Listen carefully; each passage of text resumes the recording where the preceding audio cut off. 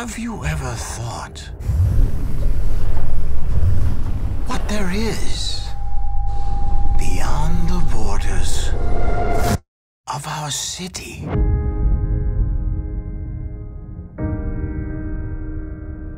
This is the head of the security department speaking. To keep citizens safe from a terrible disease, the borders of the city have been closed.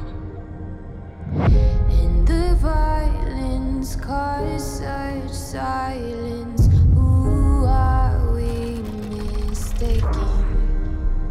But you see, it's not me, it's not my family. In your head, in your head, they are fighting. They walk around in masks. But who are they really? Dad could be one of them.